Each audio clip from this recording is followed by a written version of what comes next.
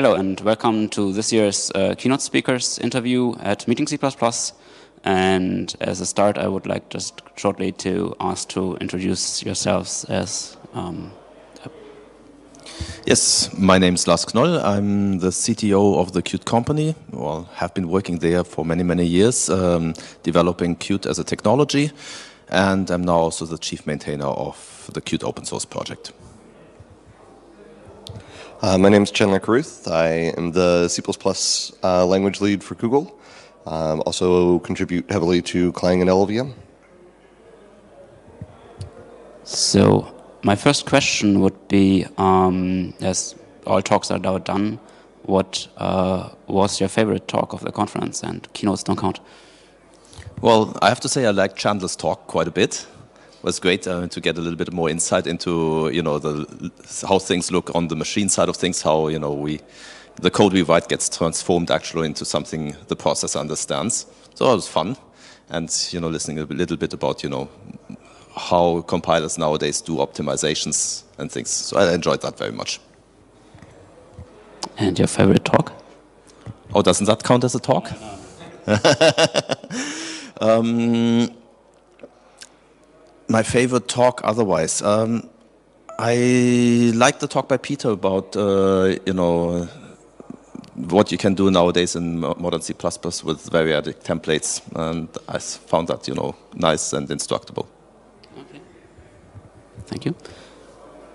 Uh, I would have to say the talk on uh, coroutines was really excellent. I thought James did a great job with that, and I'm really excited about that feature in general. Yeah, uh, well, my favorite talk, I, I, saw two talks and I really liked the talk from James too. It was really, really good to delivered and important topic. And I saw just today the talk of Joel Farquhar on C++ 14 experiences, and that was also very interesting. Um, so, uh, Lars, as you are the chief Qt maintainer and basically Mr. Qt for many years, so I would like to to ask you. Um, I know that the next version of Qt is 5.6. Um, what features can we expect and when will it be released? Okay, so let's start off with when it will be released. Um, our plan was to have it released now, but uh, we'll, we're you know slightly late due to uh, you know some changes that we did in our infrastructure. Um, I hope that we'll be we'll have the final out sometime in January, end of January. Um, with regards to features, I think you know there's lots and lots of things we've done all over the place. But I mean, you know, if you want to mention a few, I mean, one of the big efforts that we had was was you know moving up to Windows 10, making sure we support that platform as a you know big new platform that Microsoft brought out as as well as possible. You know, we did similar things for for the latest Mac OS release uh, and what Apple is doing there.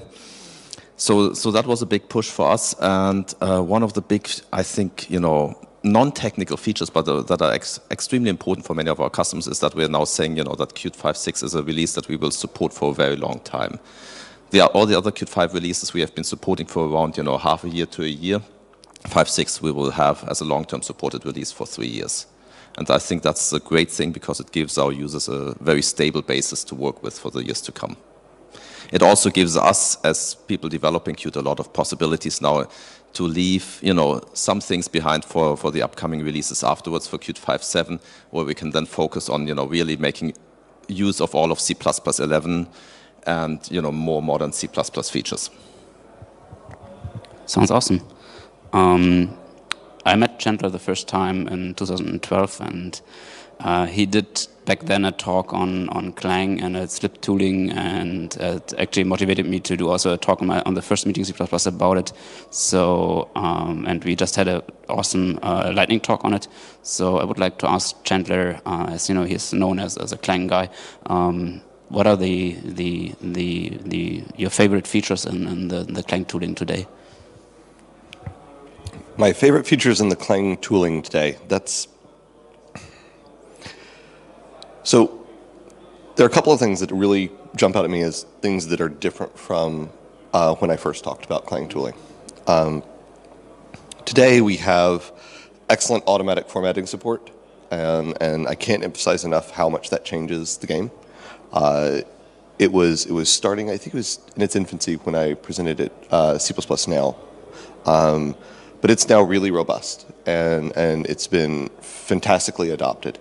And I think the kind of the adoption of that actually has a lot of impact on C++. Um, probably the other favorite thing that, that I really get a kick out of is, is seeing things kind of uh, uh, come to fruition. So, so I gave that talk in the very early days of Clang tooling. And there are very few users. I mean, very, very few users, even inside of Google.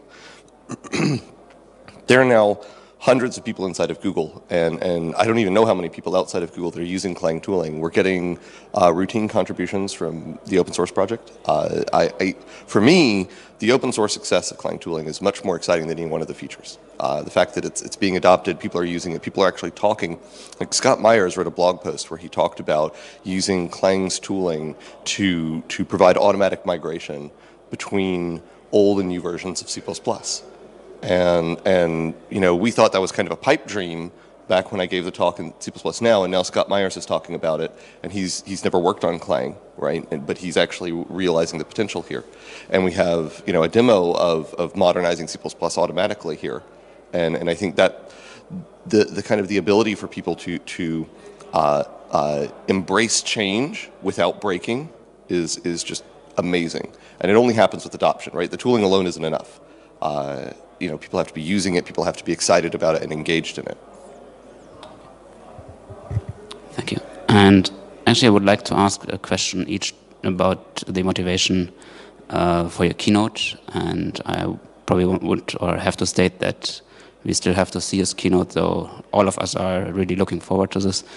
But um, just a short sentence on what, what your motivation behind your keynote is. Okay, so the keynote is basically about um, I call it designing intuitive APIs. It's really about API design uh, and why that is important. Why is it, is it important to, you know, pretty much every C++ developer, every develop software engineer out there in the world.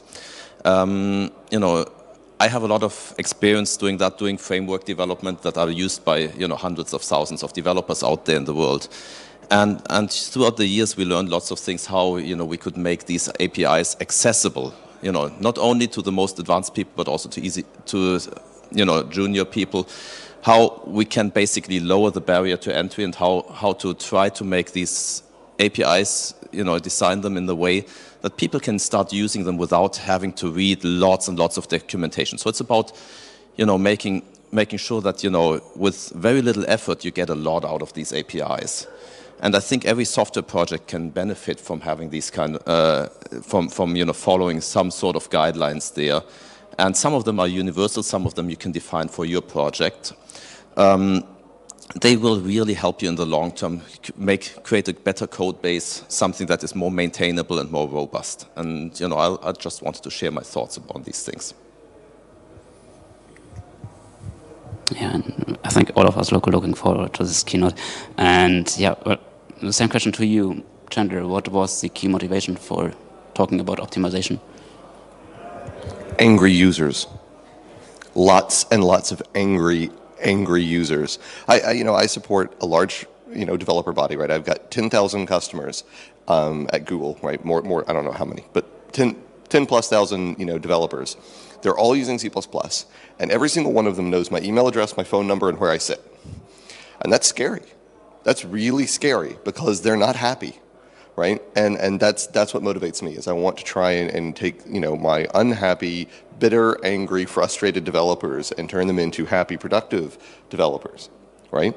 And so I try and look at you know what problems they're hitting, like what what are they actually struggling with and, and why, and and you know they're all they're all they're all smart, they're all you know motivated, but they're still struggling and they're still unhappy.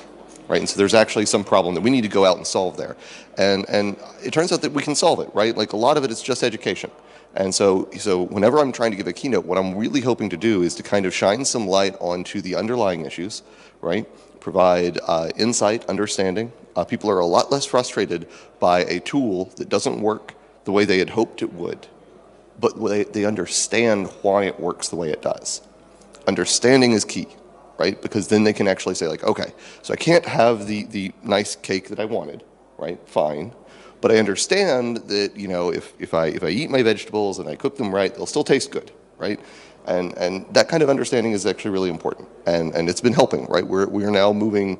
When I started working on C at Google, uh, everyone thought that C was dead and it was a literal liability for the company that we relied on C++, right?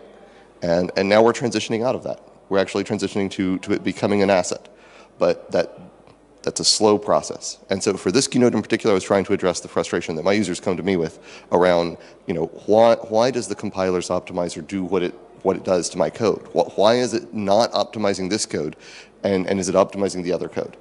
And, and I wanted to try and you know give them you know the basis to kind of understand that and to, to make you know good decisions and to kind of you know debug and, and, and figure out these problems on their own rather than having to come to me angry. So, so it's all self-serving ultimately. Okay, that was an interesting insight. Um, yeah, C++ is back and uh, meeting C++ has been great so far.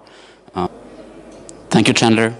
Thank you, Lars for giving this interview and um, maybe see you next year at Meeting C++.